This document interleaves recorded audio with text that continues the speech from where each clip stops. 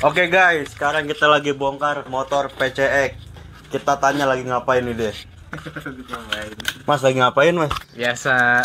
Apa? Ini lagi mau apa ya? Eksperimen aja sih. Wah gimana tuh? Jadi karena motor sekarang ini kan nggak ada untuk saklar saklar lampu utamanya itu nggak ada kan. Ah. Emang didesain itu buat di siang hari itu dia nyala terus. Ya. Tapi gue ini kayak untuk apa ya? Buat mengantisipasi aja. Jadi biar si aki itu nggak nggak kepake terus gitu. Jadi ya dimatiin lah di siang hari. Tapi tetap kalau misalkan ini gue ada nyala. Nah makanya di sini gue mau pakai ini sini. Oh, pakai saklar nih. Betul. Jadi Oke. di sini kita mau bikin apa? Saklar on off Oke. lampu utama. Tapi kan kalau siang hari nggak pakai lampu ketilang bang. Makanya kan ada on off. Ntar Oh. kalau misalkan ini gue matiin. Oke. Nyalain. Itu dia caranya guys. Tapi nggak akan ada lampu alis. Oh iya. Alisnya tetap nyala. Kira-kira apa aja nih mas yang dibutuhin buat ngubah si kab si lampu ini? Untuk apa bikin saklar otomatis itu tentu yang pertama ini nih. Eh niat sih niat. Niat. Karena kalau nggak ada niat nggak bakal bisa jalan. Nama itu ya mas ya. Iya. Ada saklar. Dan tentunya ada kabel nih, kabel panjang. Nah itu buat apa- buat ke mana mas? Ini nanti kan kita lari dari sini nih biar fitmentnya oke aja makanya gue taruh sini. Kalau ditaruh di jok, lu mau nyalain matiin, Kagok ya. kagak buka jok dulu set, gitu. Karena ke sini pakai kabel nih. Siapin kabel aja nih 3 meter. Kayaknya lebih sini 3 meter. Sama satu saklar ini. Udah itu aja. Sama niat. ini kita beli saklar yang disetang. On. Oke, Oke. Nah terus cara gimana mas? oke kita langsung aja sini. Ini gua Nah. tadi udah tes tes review. Ya.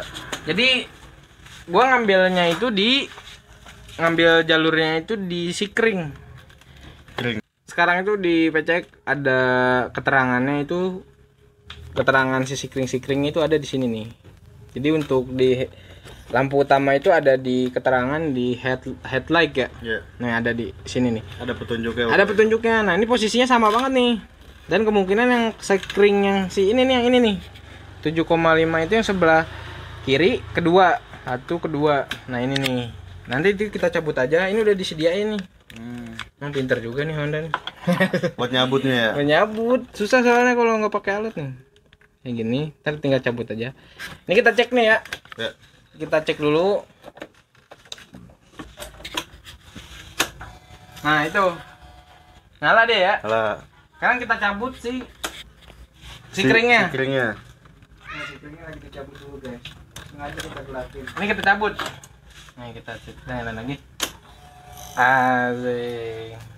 Oke, oke gak? Lampunya tetap nyala tapi yang lampu alisnya tetap nyala tapi lampu utamanya dia mati Mati. karena si keringnya si keringnya gue cabut. Ya. nah gue di sini bikin saklarnya itu di jalur si kering.